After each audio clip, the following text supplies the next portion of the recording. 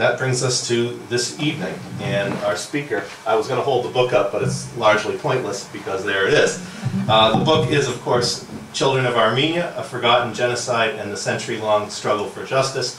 Quite obviously, it's available in the bookstore, and the author would be glad to sign copies afterwards.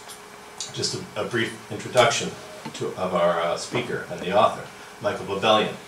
Michael is a graduate of the Columbia Graduate School of Journalism He's a lawyer and a journalist. He's written for Forbes.com, American Lawyer, Legal Affairs Magazine, has been featured on NPR. He lives in New York City with his wife and his daughter. And uh, over the past couple of years, it's been a great pleasure to get to know Michael as he has been researching this book, made many trips up to Boston to do work here at NAASR and at other research centers in the area. And um, probably he would have been done with the project sooner if I hadn't, uh, if we hadn't spent so much time talking about various things. But uh, it's an extremely interesting project, uh, and once I learned what he was up to in his research, I realized that really no one has, no one has written this book um, up to this point. It was a story that really needed to be, have someone take it on. I'm sure it's not the last word on the subject, as any book ever is the last word on any subject. It is, however, a really good read, extremely interesting and informative, and I can't imagine anyone in this room or outside of this room not reading this book with interest and learning a great deal, even about events that have happened in our own times. So I would just like to turn things over then to Michael, and we'll uh, hear what he has to say.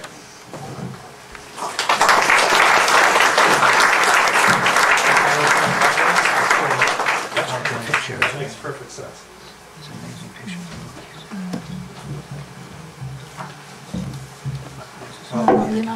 Thank you, Mark, for that uh, generous introduction, and I just want to say that uh, that I did do a great deal of my research here at NAASR. Uh, the library was invaluable, and I couldn't have really done the book without the materials here. And over the last two years, I came here seven times, and usually spent a week from the hour that the place opened to when it closed up in a room upstairs.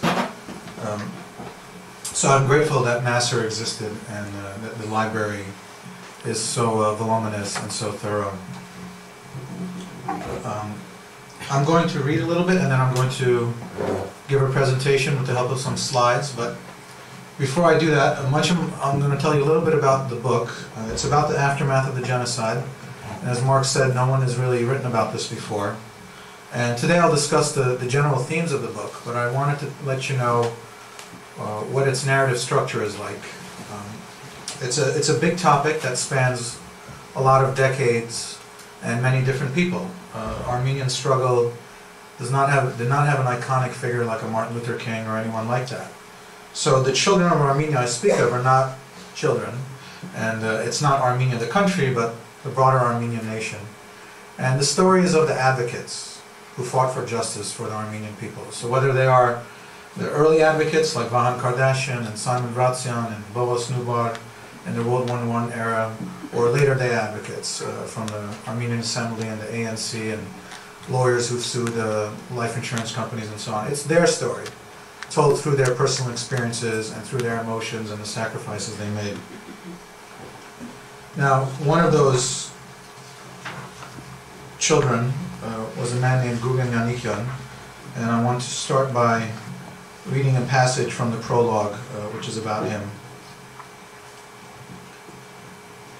Gurgen Megerdich Yanikyan was too focused on his mission to be concerned with his depleted finances on the morning of January 27, 1973.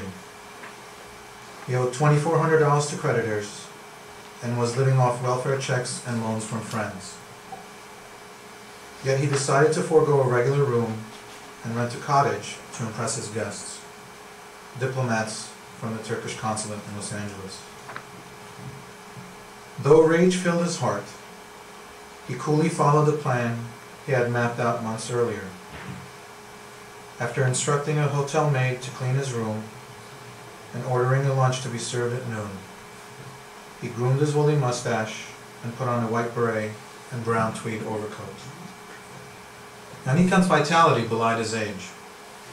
At 77, he could still intimidate men half his age when standing with his barrel chest out.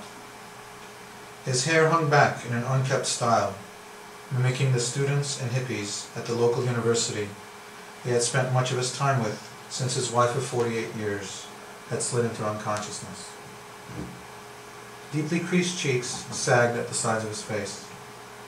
His pitch black eyebrows rose steadily upward as they approached his temples, sharply contrasting with his silver mane and endowing him with a menacing countenance. Satisfied with his appearance, Yanikyan filled two guns with twelve bullets apiece. His hands barely trembled. Bullets loaded, he placed a blue 25 caliber Browning he had purchased from Ott's hardware store in Santa Barbara inside a dresser drawer. He fit the other semi-automatic, a 9mm Luger pistol, into a hollowed out Who's Who of the West that he had carved out especially for this occasion. His inexperience with the gun, which he had fired twice since purchasing it from an Army veteran 26 years earlier, did not concern him. Five days earlier, knowing that he was unlikely to return home, Yanikyan had packed his bags with his life's work and checked into cottage number 3, room 34 of the Biltmore Hotel. Built in 1927, the Biltmore copied the signature red tile roofs, wrought iron grillwork, and cream-colored stucco walls of the Spanish colonial architecture applied throughout Santa Barbara. Yanikyan had little interest in the scenery, however. He had checked into the hotel for a different purpose. He wanted to avenge his family's loss, his people's loss, for a decades-old crime left unpunished and forgotten by the world. While he finalized lunch arrangements with the hotel staff and ensured the guns were hidden in their places, the Turkish consul and his assistant drove up to Santa Barbara. That they were married with children, or that neither man was alive at the time of the genocide, mattered little to Yanikyan. To him, they were symbols of the enduring injustice committed against the Armenians. When the diplomats approached room 34 of the Biltmore at 11.30 a.m., Yanikyan greeted them with a bow.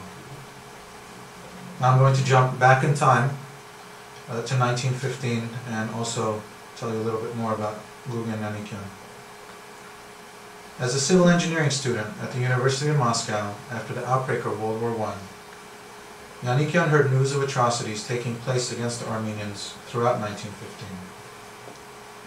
Eager to find his family, whom he had not heard from since the outbreak of the war, Yanikyan traveled to the Caucasus during the spring of 1915 to sign up with an Armenian volunteer regiment fighting alongside the Russian army. Over the next few weeks, the men of Yanikyan's unit often traveled on foot, and when they were lucky, on horseback. Everywhere they went, he saw mutilated bodies, abandoned homes, and destroyed churches. In his hometown, he found his father's business and childhood home, like the rest of the Armenian quarter, burned down. Water fountains flowed red with blood. Decapitated bodies littered the churchyard where he had spent his Sunday afternoons as a child. Searching through the remains, Yanikyan recognized a large mole on the face of a boy whose head had been hacked into with a hatchet, like a watermelon. It was his 12-year-old nephew. Next to his nephew lay his brother-in-law's severed head. The large mustache still in place, but his body nowhere to be found. Yanikyan searched in vain through the mangled corpses for the body so that he could bury the two in the family plot at the local cemetery. He placed his family's remains alongside his grandmother's burial site. They were among the few Armenians to receive a formal funeral. Twenty-four other members of his extended family rotted in unmarked graves somewhere in the Ottoman Empire, perhaps killed swiftly with a blow from an axe, or perhaps the victims of a slow death. In all, the Ottoman Empire slaughtered one and a half million Armenians and evicted 500,000 more from lands inhabited for 2,500 years. the tragedy would come to be known as the Armenian Genocide. The reason I started the book with that scene and why I read it here is because Gurgen tale comes at a flashpoint in the post-genocide story. But it also, he symbolizes the two things that are unique to the Armenian experience. Uh, unlike any other genocide of the 20th century, the Armenian genocide, which was very well known while it was taking place, disappeared from the world's consciousness. And that's something unique to the Armenian experience. And of course, I'm sure all of you know about Turkish denial, uh, where the perpetrators not only got away with their crime, but came to deny the very existence of that crime. And Yanikyan was, was responding uh, to these two challenges. Now, I'm going to have a few articles here. They're all from 1915, and they're the headlines uh, from the New York Times. And this first one says Morgenthau intercedes, and this is from the spring of 1915. Uh, Morgenthau was uh, the U.S. ambassador to the Ottoman Empire, and soon after the Young Turks rounded up Armenian leadership, May of April 1915, he went to them and he tried to intervene on their behalf. Obviously, it was to no avail. The next article talks of wholesale massacres. Then we have an extinction, and then we get into the body counts. 500,000 Armenians, and then 800,000 Armenians. In fact, in 1915 alone, the New York Times had more than 100 articles describing the genocide. And every major newspaper in the United States talked about this issue. Now, the genocide inspired the first ever major international humanitarian aid movement. We remember the tsunami from a couple of years ago. Uh, people from across the world sent money to uh, victims in Asia. And when I was a child in the 1980s, there was the Ethiopian famine, and Americans sent money abroad, and the, the pop singers like Michael Jackson and Lionel Richie created the We Are the World song. But well before all of these campaigns, the Armenians were the first, first beneficiaries of a major international humanitarian aid movement. And the United States was at the forefront of this effort. In fact, the United States sent $116 million of aid, and 45,000 American relief workers administered uh, refugee camps and orphanages throughout the Middle East. Now that 160 million is about a billion and a half in today's terms, just to give you an idea of how unprecedented that was, considering there was no example to build on. Now ultimately, uh, this effort culminated in an institution called the Near East Foundation, and this is one of their posters, one of their fundraising posters. And these posters were plastered throughout the United States. And remember, this is the age before the internet, television, and radio. So they often had posters like these and newspaper ads to raise money. And the Near East Foundation served as a model for USAID and the Peace Corps decades later. Now, in order to raise money, they relied on um, iconic images that would be popular to Americans. So here you have a Lady Liberty protecting an Armenian girl, and you have Uncle Sam. Now, this was a real grassroots effort in the United States. Uh, proceeds from the 1916 Harvard-Yale football game went to Armenian-related charities. In 1917, 30,000 American Sunday schools raised a million dollars. And of that 116 million, 25 million came from the US government. Now, this humanitarian effort was also the first time that celebrities were used to raise money for such a charitable effort. Uh, the boy sitting next to Charlie Chaplin is a boy named Jackie Coogan, and he was a silent film star in the 1920s. And later on in life, he went on to play uh, Uncle Fester in the Addams Family. But in the 1920s, he led what was called the Milk Campaign. And he would urge children who came to the theater to watch his movies to build to bring uh, cans of condensed milk, which were then shipped abroad to Armenian orphans. So you had this massive humanitarian effort, but you also had a great deal of political advocacy in the United States. So what were they advocating for? Well, after World War I, the Ottoman Empire was among the defeated powers in World War I. And the victors of the war, the United States, Great Britain, France, uh, they were determining what to do uh, with the empire. And the Armenians had gone asking for reparations, uh, trials of the perpetrators of the genocide, as well as the establishment of a homeland. Now, a lot of this advocacy was done here in the United States. And this is an event in February 1919. It's a gala uh, at the Plaza Hotel in New York City. Uh, anyone familiar with that hotel? It's on the corner of Fifth Avenue and Central Park. It's still there. And so at this event, there were 400 people in attendance.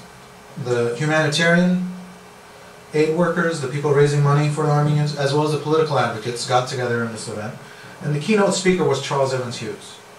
Now, few people have had a more accomplished career in American politics than Hughes. Already in 1919, at the time of this event, he was the governor of New York, justice of the Supreme Court, and the 1916 Republican presidential candidate. In the 1920s, he became Secretary of State, and in the 30s, he became Chief Justice. And he was the chairman of this advocacy committee uh, pushing for the reparations and the homeland and all those things that Armenians wanted after World War I. And he was the keynote speaker at this event.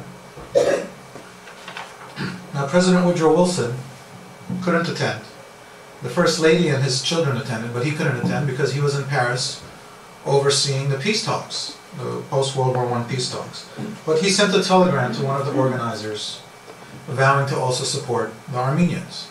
And you have to think about how odd this is, right? Wilson and Hughes were political opponents in the 1916 presidential race.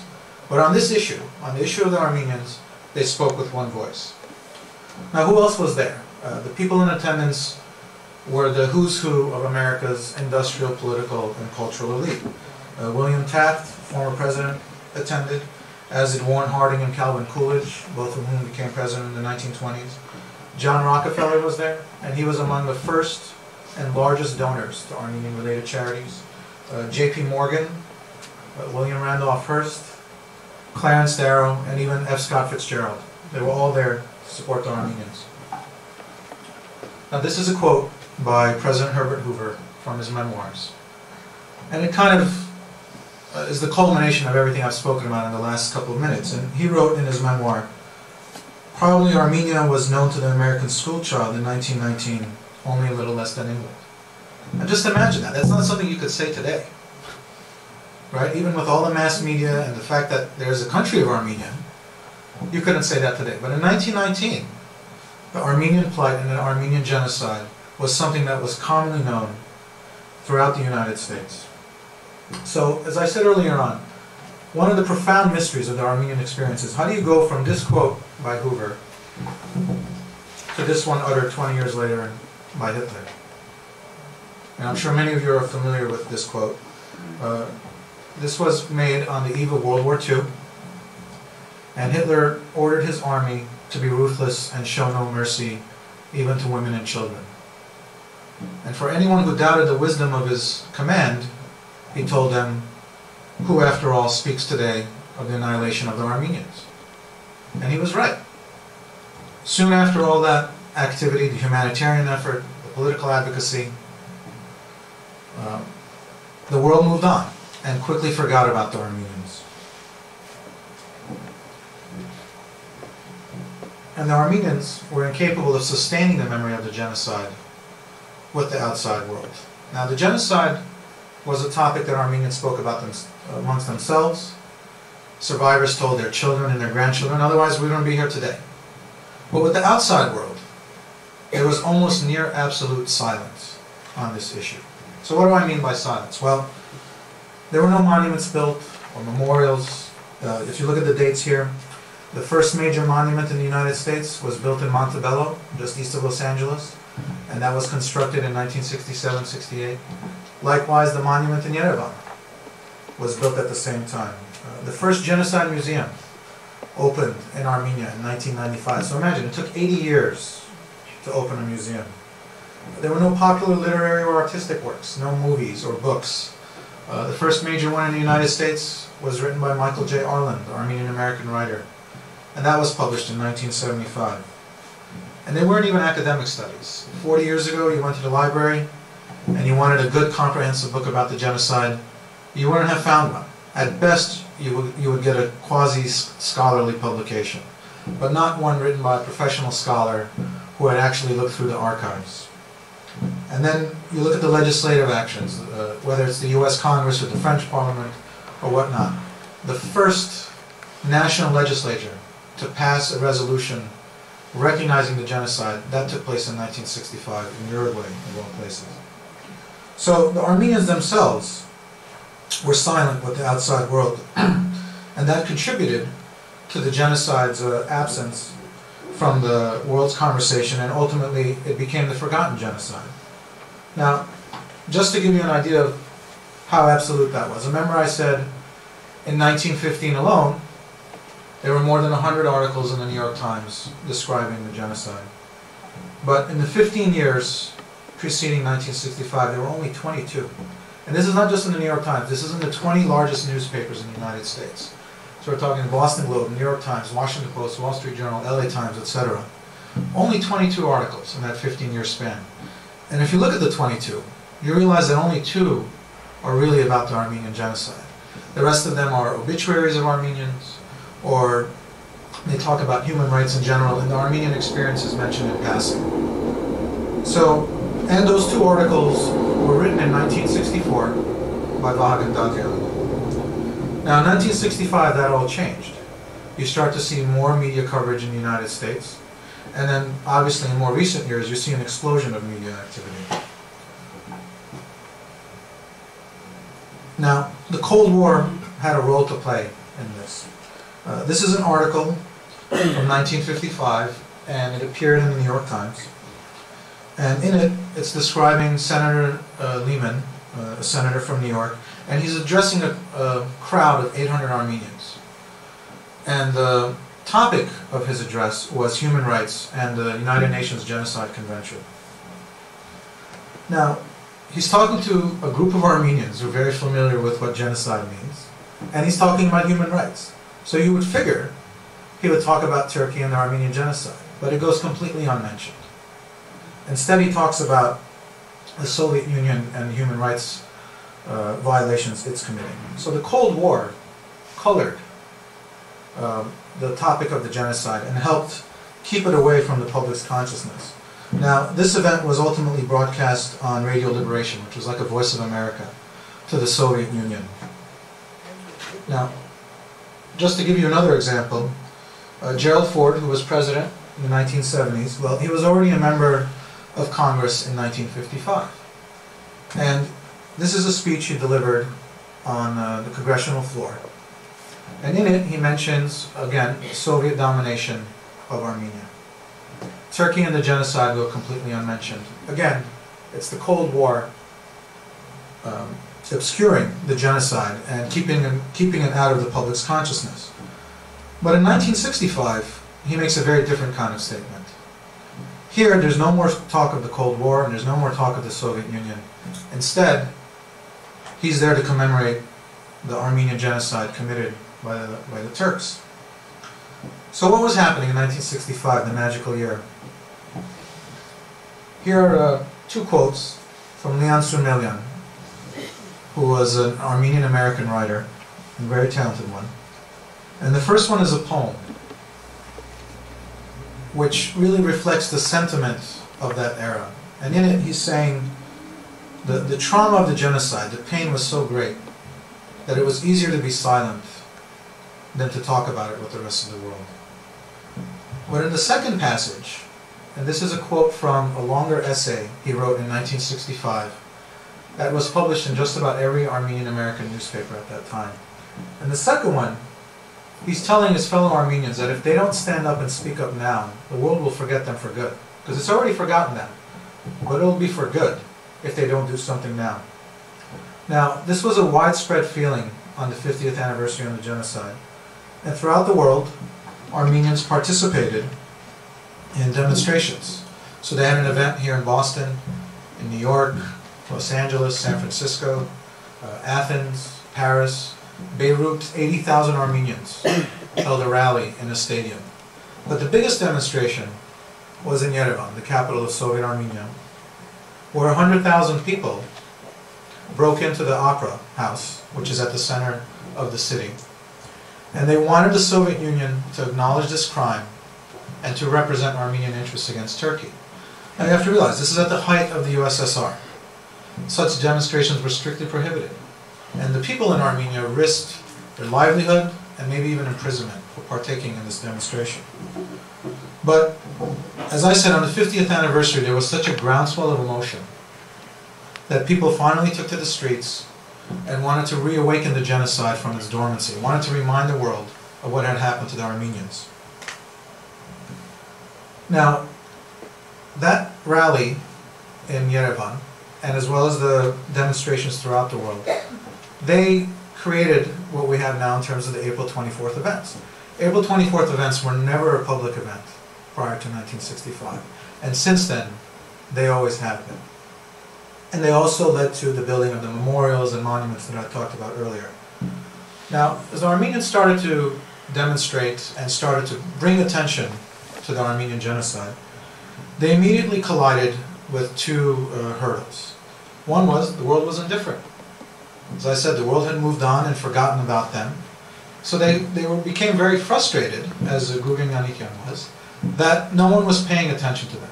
Uh, if there were articles written about them, it appeared, you know, in the back pages of a newspaper. So this led to a lot of frustration.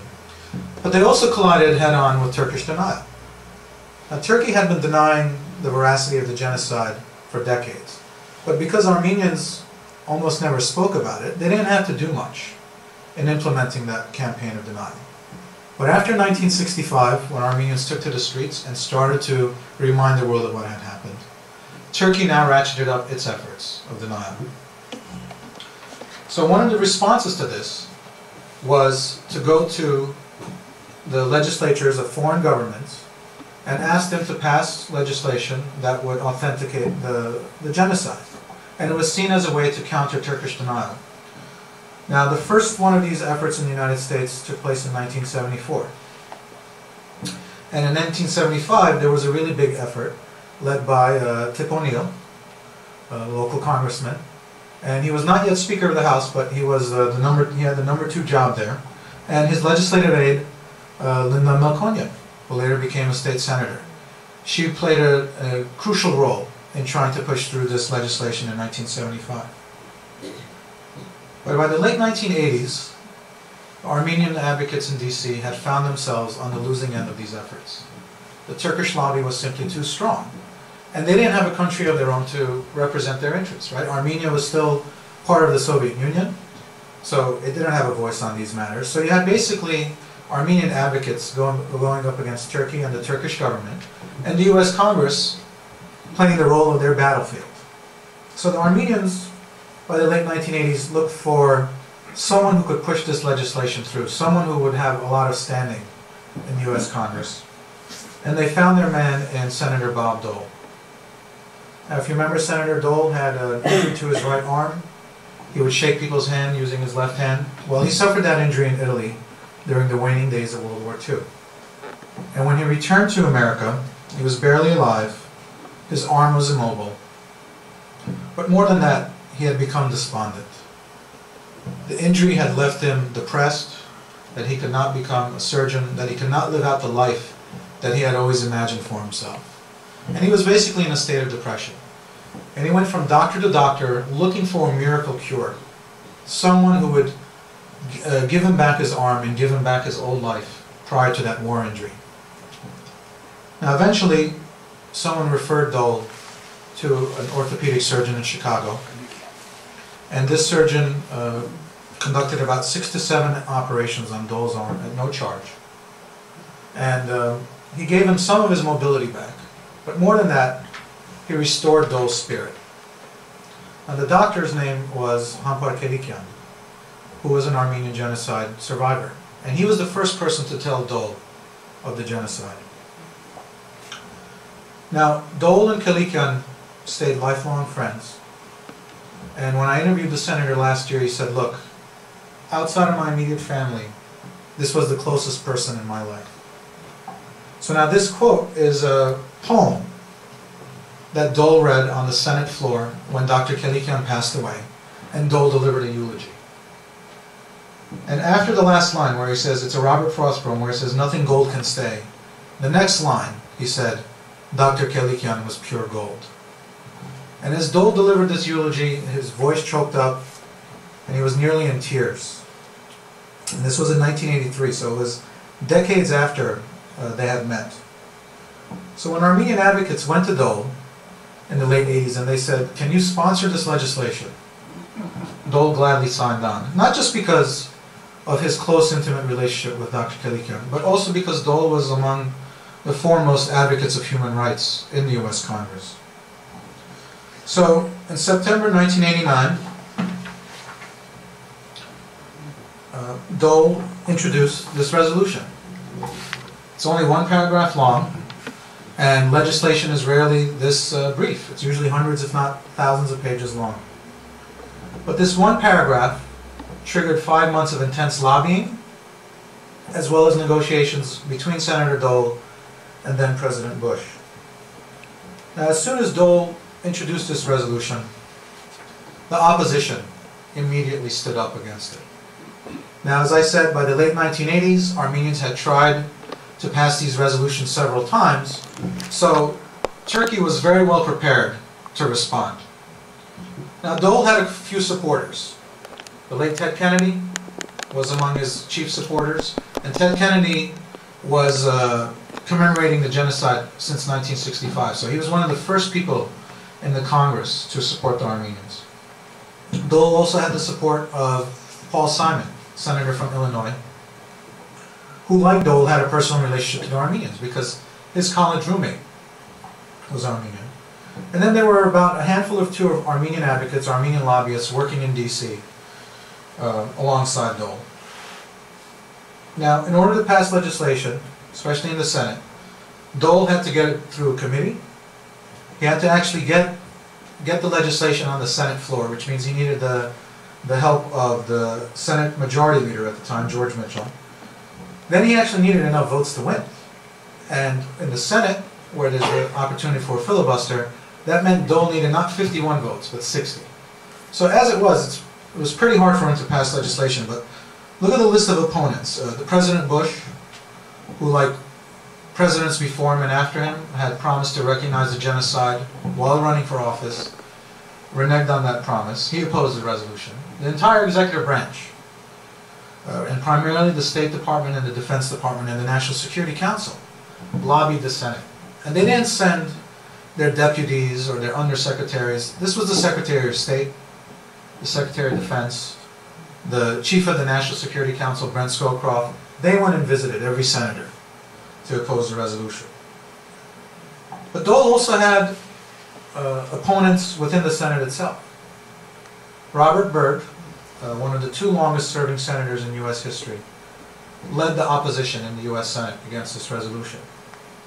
Now, Byrd had held every position of power in the Senate by this time. He had been minority leader, and majority leader, so he knew all the parliamentary tactics.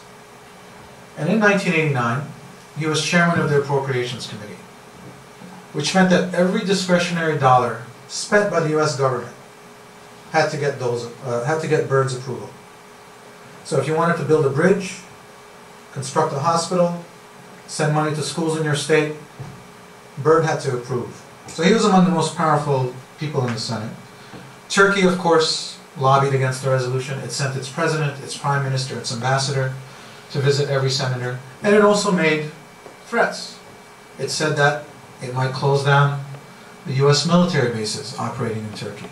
It also said that it couldn't guarantee the safety of the small Armenian and Jewish populations in Turkey. You also had the Turkish American lobby. About eight different firms were paid $3 million over a few months period to lobby against this resolution. One of them was founded by Douglas Feith, and uh, he was the, uh, the protege of a man named Richard Perle. Now both of them in modern day were neocons who helped push the United States into the recent Iraq war.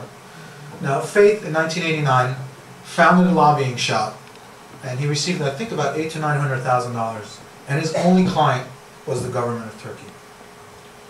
And then finally you had the corporations doing business in Turkey. They too opposed the resolution.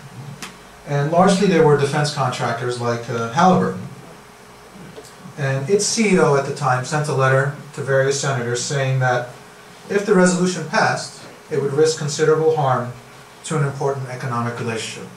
So as, as I said, you had Dole and a few supporters on one side, and all of these opponents on the other. And Dole, later on, while there was a debate, came to call it a David and Goliath matchup. But there was also something else that Dole had to confront, and that was Turkish denial. Now in Washington, you'd be hard pressed to find a dozen congressmen who actually believe Turkey's position. When these resolutions come up, these days, it's simply a matter of who has more political power. But that wasn't the case 20 years ago. Back then marked the high watermark of Turkish denial, and many people in the US media, as well as the US government, didn't know what the truth was, what the historical fact was about the events of 1915.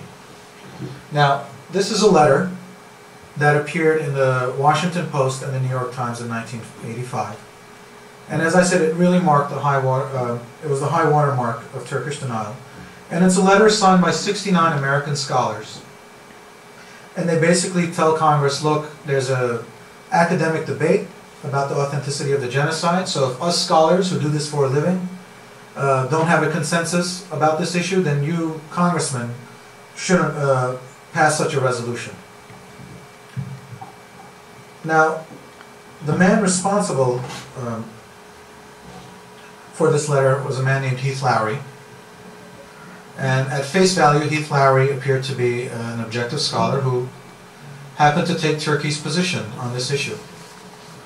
But in late 1990, after the resolution was already done with, um, a scholar named Robert J. Lifton had received a letter from the Turkish ambassador. Uh, and these were letters that the Turkish embassy would normally send. If someone wrote a book and they mentioned the Armenian genocide, even in passing, they would receive a letter saying, no, no, no, you have it wrong. That's not the case. So there was nothing unusual about that letter that the Turkish ambassador had sent out. But what was unusual was that in the envelope, he accidentally included a memo written by Heath Lowry and addressed to the Turkish ambassador. Now this memo was not meant for public consumption, obviously. But it revealed that Lowry was working very intimately with Turkey and gained uh, professionally by participating in denial. So he was not an objective scholar. Now, one other person on this list was a professor named Donald Quataert, who now teaches at SUNY Binghamton. About two or three years ago, he wrote a book review, and in it he described the events that happened to the Armenians as genocide. And he was soon uh, forced to leave as the chairman of the Institute of Turkish Studies. And that's an institute founded by Turkey that gives grants to scholars who want to do research there. Now, I interviewed Professor Quataert and I said, look, you're in academia, you're in the business of finding truth. So how could you and so many other people have signed this document? And he said, look, many of us, many of the people who signed were not even experts on the field. They were asked, so they did it as a favor. It didn't cost them anything. But he said there's something else that was far more uh, insidious. He said the subject of the genocide is taboo in Turkish academia. And if it's something you want to research, something you want to write about, you implicitly find out that your career is at risk. You could get um, the funding that you get to travel to Turkey and to do research there could dry up. And even worse, you could be denied access to Ottoman and Turkish archives. And as a scholar, if you don't have access to archives, you don't really have a job. Now, by the late 90s, and certainly by the middle of this decade, there was an academic consensus about the authenticity of the genocide. Uh, and, it, and that consensus was built in uh, Holocaust circles, uh, human rights circles, etc. But if you notice, all of these dates are way after Dole's resolution in 1989-90. So, finally, in February 1990, uh, Dole was ready to present the resolution on the Senate floor, which meant that there would be debates, and then finally there would be a vote. Now, while all of this was happening, as I said, there was an immense amount of lobbying against the resolution, but Dole was also in the process of negotiating with President Bush. Now, in every other effort where there's been a resolution like this, presidents have always said, we're against it and that's that. There's nothing to negotiate. But this case was different. Dole was a Senate minority leader, and he was the highest serving Republican in the US Congress. And he and Bush were in the same political party. So they didn't want this issue to drive a wedge between them. So they spent five months negotiating the language of that one paragraph resolution that I told you. So um, there were about two dozen drafts that went back and forth. Sometimes they would describe the events of 1915 as genocide. Sometimes they would call it a massacre or an atrocity. Sometimes they would say it was a genocide, but not uh, a declaration made by the U.S. government, but by third parties like scholars. So they try to find all these subtle ways, and sometimes the subtleties are very hard to discern, but they try to find a way that would be both satisfactory to the Armenians as well as the Turkish government. But the Armenians insisted that the word genocide be used, and Turkey insisted that it not be used. So that was very hard to do, no matter what kind of uh, uh, verbal semantics uh, you used. So now, Bush had uh, the National Security Advisor Brent Scowcroft lead these negotiations, and Dole also had help. He had help from Governor George Deukmejian, who was an Armenian American politician, and he was governor of California at the time. Now, Deukmejian met with President Bush on Air Force One. And he said, Mr. President, you campaigned with me in California in 1988 when you ran for president. And back then, California was a swing state, and Bush actually won it in 88. And he said, in front of audiences, you promised that you would recognize the genocide. Now you've gone back on your word. So this was something that had upset Governor Deukmejian. And when they met on Air Force One, Bush said ultimately, look, I hmm. know what I said, but this is the way it is now, can't help you. So this was this was a very difficult thing. Just as Dole and Bush did not want to disagree because they were the lead Republicans in D.C., Duke Deukmejian didn't want to disagree with Bush because he was the governor of the biggest state and also a fellow Republican. But finally, uh, after these negotiations, there were the Senate debates, and Dole uh, and Byrd led each side. And the Armenian advocates I talked about, well, they were camped out in Dole's office. Uh, one of them, Van Krikorian, he was trying to uh, lobby senators to support the resolution. And he was also um, helping Dole with his speeches, because a lot of what the debate was about was the historical record. So Dole is a smart man, but he's not a historian on the Armenian genocide, so he needed help in that regard.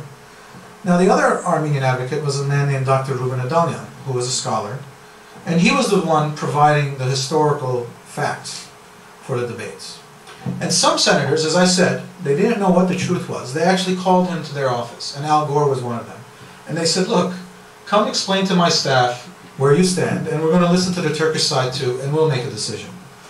And after Adalian met with Gore's staff, ultimately Gore uh, came to support the resolution based on what he had heard. So they had four days of debates. As I said, they went back and forth. And you have to realize the Senate almost never spends four days on anything. Uh, a year later, when debating whether to enter the Persian Gulf War, they actually spent three days going over that issue. So the Armenian genocide had come to consume so much of the Senate's time, and Dole was the, the main reason for this. And as the last speaker, and uh, right after he spoke, there was a vote on the Byrd's filibuster, he said, Maybe we can redeem ourselves a bit today by letting the world know that we do not always support the rich and powerful and those with the most lobbyists. Sometimes we judge right from wrong. Now, just want to give you a little word about the research. And there's a whole chapter on this uh, resolution. I'm not going to tell you how the vote ended up. You have to read the book for that. but uh, but I combined, you know. Please just tell me it passed. I combined a, a lot of interviews. I interviewed Senator Dole, Governor Deukmejian. There was also a man named uh, Charles Pashayan, who was a governor, uh, congressman from Fresno. I interviewed the Armenian advocates. I looked through the, all the congressional materials, uh, all the articles that you could find in the U.S. press as well as the Armenian press. And then I had access to the presidential archives. Uh, and they don't exist for the second uh, President Bush or even for President Clinton. And uh, the Dole archives as well. And then there were just random things, like finding out the history of what Dole's office looked like. Because he had one of the biggest offices in the whole U.S. Congress. And used to be the former uh, chamber of the Supreme Court before it had its own building. So put these all together in writing this chapter, and Mark had asked me to talk a little bit about the research. And uh, as I said earlier, much of it was done here. So As I conclude, I just want to tell you a little bit about the photo on the cover. It's of the Marootian family taken in about 1908. And the man sitting with his leg crossed is a man named Setrak. And he had purchased an insurance policy from the New York Life Insurance Company. His sister-in-law Elizabeth, who's standing above his right shoulder, was moving to New York. And he said, why don't you take the policy? If something happens to me, it'll be easier for you to collect there than it will be from here in Turkey. So she and her daughter, who's standing uh, underneath her, they moved to Staten Island, New York in 1913. Everyone else in this photo remained behind and perished during the genocide. Now Elizabeth tried to collect this policy in the 1920s and again in the 1950s, and uh, she wasn't able to do so. But she kept the policy. She kept all the pay stubs and all the correspondence. When she passed away, her daughter inherited the policy, and when her daughter passed away, her younger son, Martin Marootian, inherited the policy. And in 1999, the policy and all those documents that came with it became the central piece of evidence in the first ever class action lawsuit to originate from the genocide. Now, there are no photos in the book, so this is the only one. And the reason we picked it, my editor and I, is because to me it symbolized the essence of the book. These people died a long time ago. Uh, the world had forgotten them. Their remains are in unmarked graves, but somehow their ghosts are not at rest. Even a century later, they're calling out to us from the past through this policy in the case of this family. But there's also a note of redemption. At least this family, and I don't want to give away the, the, the ending of the book, but at least this family did see a little bit of justice. And many other Armenian families await. But to me, there's hope that if one family got the justice they deserved, then perhaps everyone else will as well. Thank you.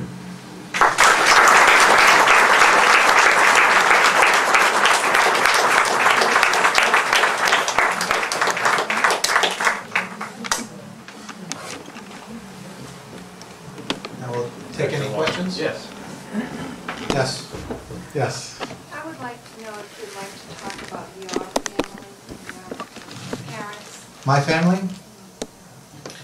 Uh, my grandparents were, were survivors, my paternal grandparents, and uh, my grandfather was 14 at the time of the genocide, and he was one of the only two people to survive, and about 28 people perished. And uh, he saw most of the deaths uh, the death of his mother, his aunts, and his infant brother, and it was something that traumatized him his entire life. Um, especially as he got older, he would have breakdowns uh, where he would relive the events as if they were happening right there again.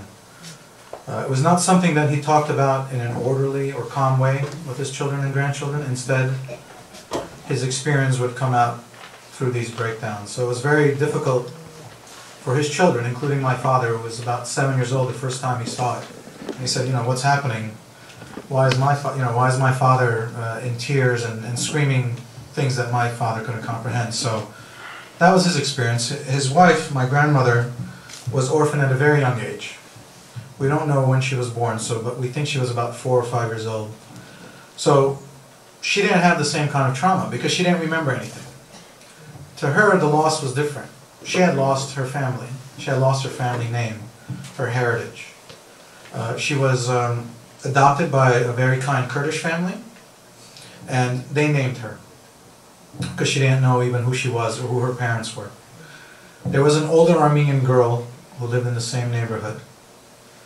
And that girl was old enough to realize what was happening, that they were adopted by these families, but they didn't really belong. The older girl grabbed my grandmother and they fled. And they went to an American orphanage, and eventually they ended up in, uh, in Aleppo, Syria.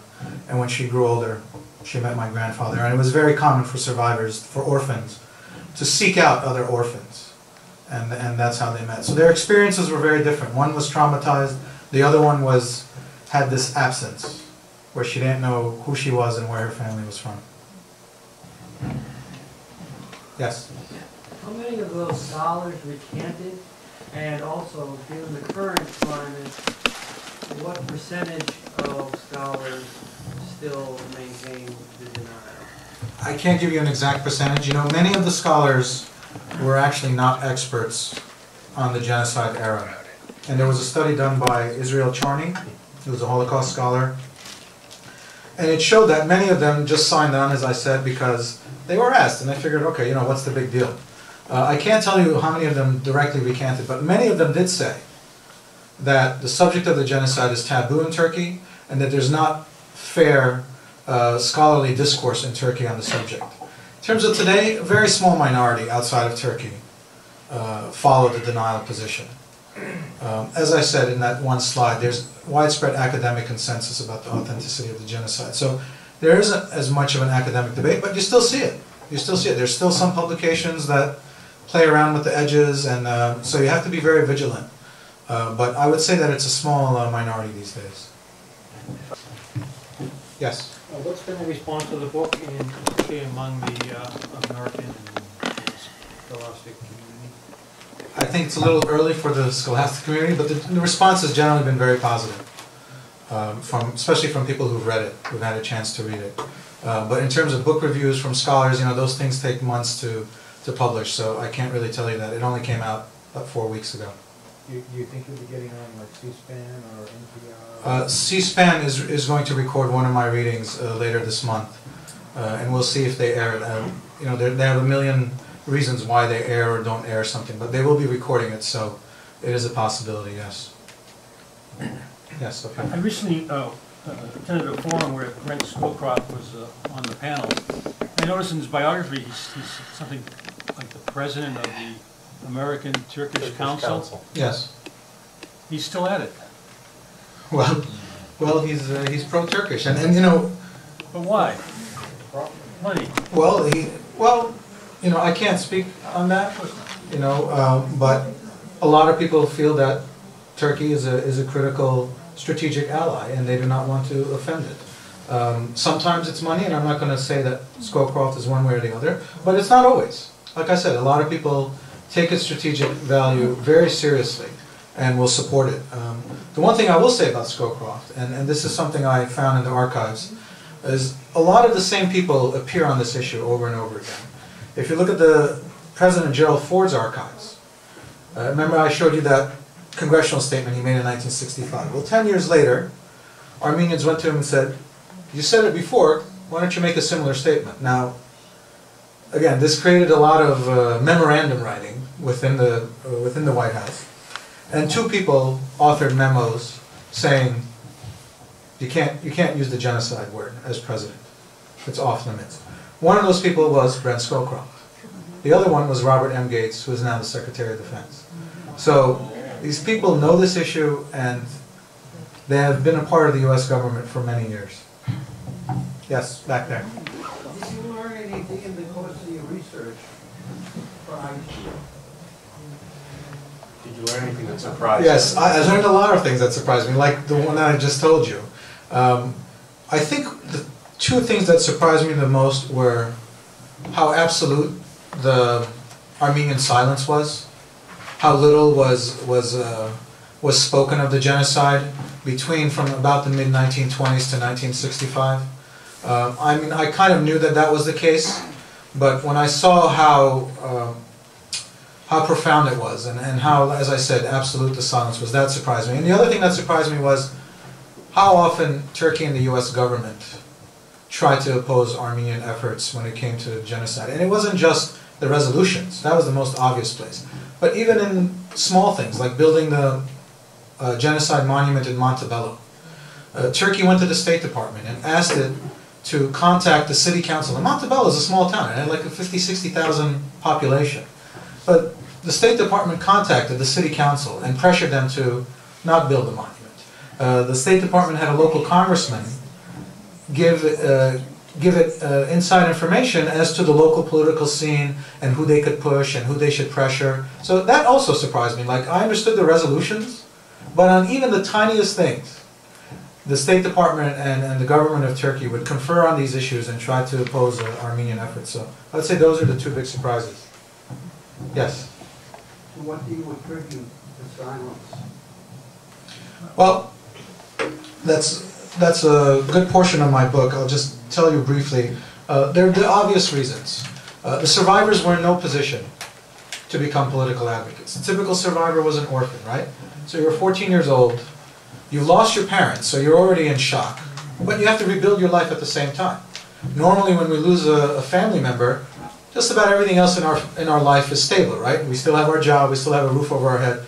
In this case, everything is unstable and you've lost your entire family. So imagine the shock and the trauma of that.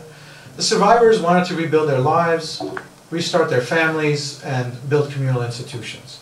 They were in no position to uh, participate in political advocacy. The other thing is that Armenians were scattered across the globe. And when you're scattered in foreign countries, there was no concentration to incubate political power very easily. Um, the thing that also Armenians underestimate was the lack of a country. The First Republic of Armenia had survived past 1920, and this is a hypothetical, but I'm sure that eventually they would have built memorials and monuments, and they would have pressed Turkey in international circles like the League of Nations and then the United Nations after World War II. But without a country to speak on your behalf, and you're scattered across the globe and you're survivors, well, it's very hard to, to make a lot of noise. Um, and if you look at the, the, the Holocaust by comparison, it was Israel that uh, negotiated uh, with Germany uh, reparations. It was Israel that built the first major Holocaust centers. But again, because the Armenians didn't have a country of their own, they were not able to, uh, to make these maneuvers or build these types of institutions. Uh, yes? But we did it 50 years later without a country. So is that really a justification? Starting I'm not justifying it, I'm just explaining it. No, but I mean, after 1965, we started, and we are Yes. where we are today, but, you know, it works without a country. What is actually Armenia is doing today for getting our lands back in reparations? They might even sell us on October 10th. Well, I, I don't comment on the protocols because I may want to write on them, so I don't take a public position. But uh, I can say, and, and this is pretty well known, that Armenia uh, does not see the genocide issue with the same intensity and passion that the diaspora does. Uh, the Armenian diaspora, this is the political issue of the diaspora. There's no number two. Nagorno-Karabakh, yes. Uh, how much money Armenia gets uh, from the United States, yes. But 95% of our energy is based on this issue. Well, Armenia is a country with many problems and many issues. It's surrounded by uh, several, uh, two hostile countries in Azerbaijan and Turkey. Iran to its south is a pariah state, and Georgia to its north is a, is a dysfunctional country. So they have a lot of problems, and they have a lot of things on their agenda. I'm not here to justify it. I'm just here to tell you that they don't place this issue at the top of their list or, or with the same passion that the diaspora does. So that, that's all I can really tell you. Yes, back there? The word was, uh, Turkish Prime Minister Pasha accurately predicted that it would take the Armenians fifty years to recover from, uh, the genocide. And he and he added as an aside, if they ever do. So bad as he, and malignant as he was, he correctly, uh, was able to put a time frame on this Yes, it, it is ironic that Talat Pasha was among the chief perpetrators of the genocide, and he has a quote where he basically says that the Armenian question will be uh, silenced for 50 years, and, and he was right in that regard. It took, it took about 50 years to, for Armenians to reawaken the genocide from its dormancy. Um, yes? Yeah, I have a question. I'm just curious about something. Uh, You have the, you talked about the development or the evolution of Armenian studies in America, let's say. What about high school? Did you ever, were you able to find anything about when, I mean, did they ever teach, did they ever even talk about this in the 1930s in, in, in the high schools? I mean, You know, Yeah, I, just curious. I didn't check the curriculum from past decades, but in the last few years, uh, states like New Jersey and California, and here in Massachusetts, and it's under litigation, there have been states that include the genocide in their K through 12 curriculum. But I don't know how many states it is. I don't think it's a, it's a majority even. I think it's just a handful of states. Uh, so maybe someone was teaching it in the 1930s, but I probably doubt it because they probably they didn't even have the materials to teach it. If there's no curriculum, there's no textbook, there's no articles to rely upon, the teachers may have spoken something, but I doubt that they taught it in any comprehensive way. it can't go too far back. Seems like in the 1990s, I know in Lexington High School up and around here, they were, they were beginning to teach it. you know. Yes, as I said, in recent years, uh, some states have mandated it as part of their uh, K through 12 curriculum. Thank you. Yes. Question, uh, Taner Akçam wrote that book, the, you know, the Turkish side. And lately there was something on the internet where the Turks could sign up and apologize, you know, to the Armenians. Is there any hope or any, uh, benefit that's coming out of that little glimmer? Right, well, you know, it's one of those things where if you're a pessimist or an optimist, um, all I can say is this, if you ask me ten years ago, twenty years ago, thirty years ago, four years ago, is there any hope? I would have said no. The Turkish response was monolithic, whether it was the Turkish government, the media, or academia, they all said the same thing. But the last ten years has seen some cracks in that response. There are some in the press and the academia who speak of the genocide, some who don't call it genocide but say at least uh, that people should look, look to the past and study it and not necessarily automatically say that the Armenians are wrong. So there is hope in that sense, because there was never that kind of liberalization before. But whether that will lead to a real breakthrough, or a breakthrough that will lead to a sincere apology for the Armenians, you know, I, I don't know. I really don't know. Yes? Uh, May I ask, uh, what's the, the current definition of the word genocide, or, and if uh, the, the, the meaning of it has evolved through all this dec- decade? Uh, and is there any disagreement between the definition between the Turkish side and the Armenian side? Well, there's a definition that people might use in the common parlance, right? Uh, America committed genocide against the American Indians, but there is a legal definition Yes, I'm the- from the United Nations 1948 Convention. You, you can very easily find it. I think there are four or five uh, things that have to be met to constitute genocide, um, and you can easily find it on the internet. I, I, I don't have it in front of me in terms of what the what the exact language is because it's very legalistic. So I would I would have to read it before I could tell you. uh, My question is, so basically, uh, the, the, the Turkish side and the Armenian side, they do have this, the, the same definition as just they are. Yes, Yeah. they just argue over the, the, the factual interpretation of whether it fits the definition, yes. A lot of it, a lot of the argument has to do with intent. Because the Turks agree that many Armenians died. Now, they say a lower number died, but they agree many Armenians died. So what they're saying is there was no intent, right? So if you're, if you're uh, driving a car and you kill someone uh, by accident, well, there is a death, but there's no intent, right? There's no murder. Whereas if you take a gun and shoot someone, well, it's the same act of killing, but one is murder and one is homicide, or one is even not even that, it's an accident, right? So that's what the real, the crux of the argument has to do with intent.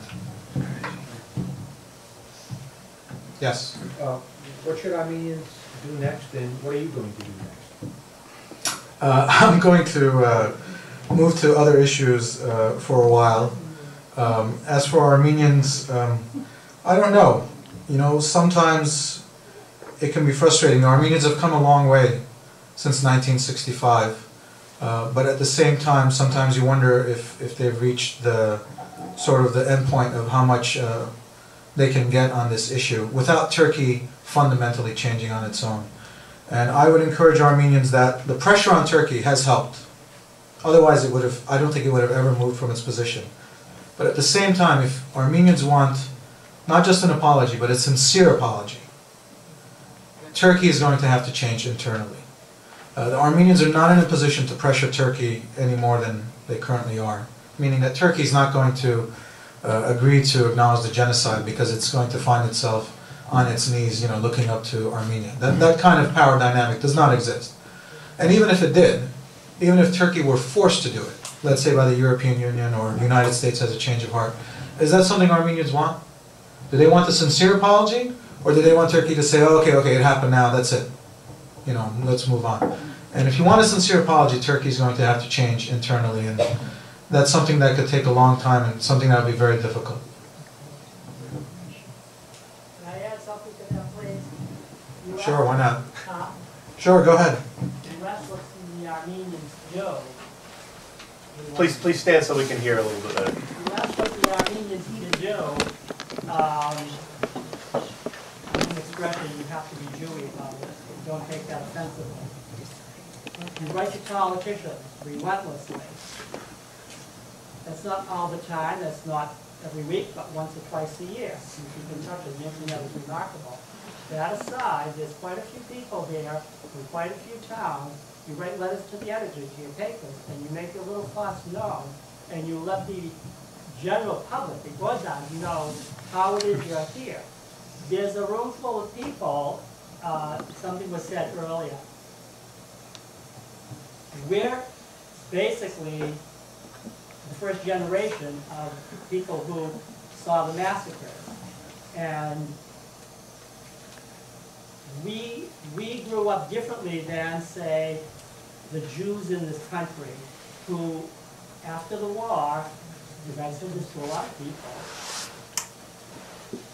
the Jews who survived the Holocaust weren't in a position to resurrect themselves and save the situation. It's the Jews in America, in my opinion, who said, we've got to do something about this, and they were the ones who had the means, and the means, financially, organizationally, they pulled it together and they helped present the issue.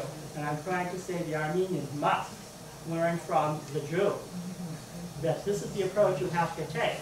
And it's small, but it grows, and it keeps growing. You said something else, I wanted to applaud the issue, let me know You, you. you're right to say that, um, uh, unlike the, the Jewish experience, uh, almost every Armenian was affected by the genocide. So there wasn't a large community in other parts of the world that could speak on behalf of the Armenians. And as I said, there was no homeland like Israel that could speak on their behalf. So you're, you're right in, in, in that sense. Um, and in terms of what Armenians can do, they have to do what they keep, what they've already been doing, writing letters to the editor and, and, and reaching out to their, to their government officials. But what I said before was they also need to engage Turkey because ultimately the pressure side of the equation is one thing, but if you really want a sincere apology, you need to help change Turkey internally. And that, I think, is, is something that the Armenians really should look to next. It's something that's only being done to a small extent so far. But that's what Armenians should encourage, is change within Turkey. Yes, Miss? Do you have any opinion on how uh, things will impact the discussion if trade begins between Armenia and Turkey? You know, I, I don't know, that's a hypothetical that I can't answer you, but let me give you some other examples. Um, The lawyer in you is coming up. Well, yeah, I mean, I can't, I can't answer, but um, a- after World War II, uh, Germany negotiated reparations with uh, the government of Israel as well as the Jewish diaspora. And 24 Jewish organizations from across the world got together and created an umbrella institution that could go negotiate these reparations. So they had a government as well as a diaspora represented. It wasn't until about 14 years later that Germany and Israel established relations, officially established relations. Then you look at Japan and South Korea. Uh, Japan committed a lot of human rights violations against the Koreans in the early part of the 20th century. Uh, but in 1965, they established a relationship, and now they have an immense amount of trade. Uh, they also uh, cooperate militarily because they're both scared of North Korea. And in 2002, they co-hosted the World Cup. But Japan has never really formally apologized for its crimes. So it could go either way. I can't tell you which way it could go. It could go where the two countries have a functional relationship. They trade. They tra- you know they have an open border. They they share ambassadors, and they don't deal with the past as Japan and South Korea have had. Or the German-Israeli model where they first deal with the past. They first deal with the crimes committed against the victims, and then they go ahead and establish state-to-state relations. And um, so all I can say is we should look at those models and see which one, as a people, we want. Uh, I think a lot of these issues have been have been uh, stated in a way where it's very confusing. Which is it? Are Turkey and Armenia supposed to solve all these historical grievances, or are they supposed to simply establish the basic relationship that any two countries should have? Um, I think it might be a little bit of both, but it's not it's not clear to me. If you read these protocols, it's, very vague, and uh, I think that needs to be clarified. And I think for the Armenians to get a resolution they want, just as in the Jewish model, the, the diaspora as well as Armenia need to be represented. Uh, if only Armenia is there, then it's going to be a state-to-state resolution, and I think a lot of many people in the diaspora will be unhappy. So the ideal model is what uh, the Israelis and the Jewish diaspora did in the early 50s, and where they went, and each side was represented uh, in talks with Germany. Did the Israeli government welcome that diaspora input? Yes, it actually encouraged it. against it. It actually encouraged it, uh, because it knew that Days are different. there would be a, a massive problem if it did not. And as I said, within a few months, and the Jewish diaspora is very fragmented, right? It's fragmented along uh, religious lines, by geography, politics, whatever. But in a few months, they developed this umbrella organization. And I think the Armenian diaspora is nowhere near that in developing an organization that can actually go speak on our behalf. We don't have elections, right? Uh, our advocates are very admirable, but, but last time I checked, neither you or I elected them, right? So there's a problem of representation. Uh, there's a problem of speaking with one voice. Uh, as I said, in those negotiations, the Jewish diaspora and Israel were able to do that, and I think the Armenians could really look to that as an example and try to learn from how it was done, what were the roadblocks, and then how they went forward. One more, take one more. Sure. Yes, go ahead, miss. All right, time's running. Oh, okay, thank you. Um, I just want to go over here. This isn't a question, because it was a wonderful talk, but some of the things that you said and some of the questions I wanted to respond in a different way to, if I may. I'm Pam Steiner, and I know a lot of you, and a lot of you know that I've been doing work on reconciliation between Armenians and Turks. And um, I'm Henry Morgenthau's great-granddaughter, and am um, honored to get to do that work. And I just wanted all of you to know that um, on November 16th, at the Tsai Auditorium at Harvard um, on Cambridge Street, where many of you have come before uh, for a couple of talks by Armenians, Hasan Cemal will be speaking. Now, Hasan Cemal is the grandson of Jamal Pasha, who was one of the three heads of the Ottoman government during the First World War. And um, what he did as a journalist, he's a well-known journalist in Turkey, he accompanied President Gül to Armenia for the football diplomacy last year, a year ago. And while he was there, he made two gestures of reconciliation that I think are very hopeful and important, signifying change in Turkey. So uh, I met him and invited him to come and speak, and he is coming to speak on those two gestures. And one of them was the laying a wreath at the, at, at the Genocide Memorial in Yerevan, and the other one was to meet with the grandson of his, of one of the assassins of his grandfather while he was there. So I think that those, to me, are very moving gestures, and I think they're important in helping to open up everything for everybody, and to, um, it's just a piece, because there are a million pieces to it all. So I wanted to invite you all to come to that event. November 16th. Thank you so much. Was there a last question, question? I was just gonna ask, Go right what do you think the Turkish government has to gain by maintaining a- a lie? Because it takes a lot of effort to maintain a lie. That, that's a great question. Um, part of it is material, right? Fear of paying reparations. Uh, part of it are the Armenian territorial claims. You have to realize when Turkey was transforming from the Ottoman Empire into the modern republic, it was under siege by the victors of World War One, by the European victors, who wanted to carve it up.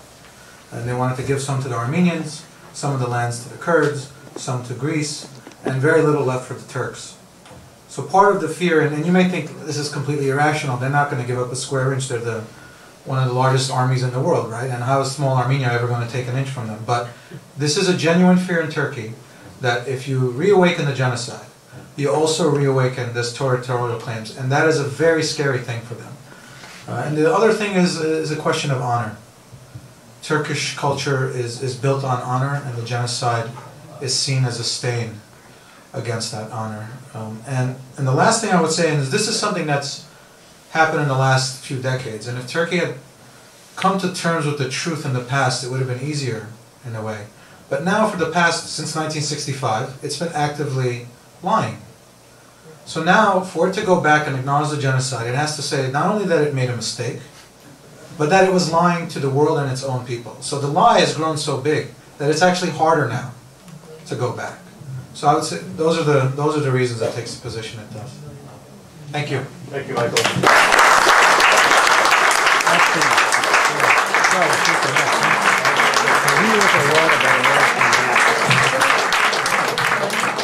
Just in brief, if I may, for one moment.